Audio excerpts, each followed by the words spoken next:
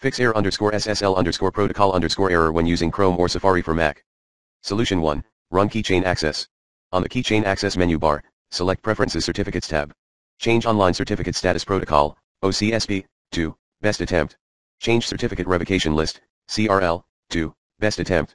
Leave priority set to OCSP. Solution 2, if you are using some CAS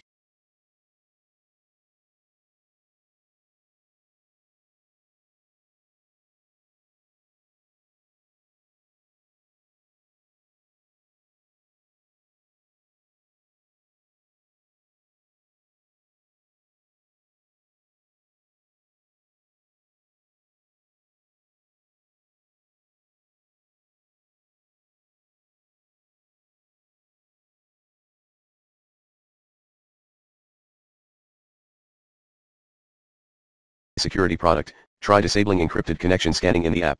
Other voices, 1. Disable HTTPS scanning, in Avast, or the like. 2. For power users, try diagram noticing and fixing the underlying issue, the network breakage, in the network filtering secure connections.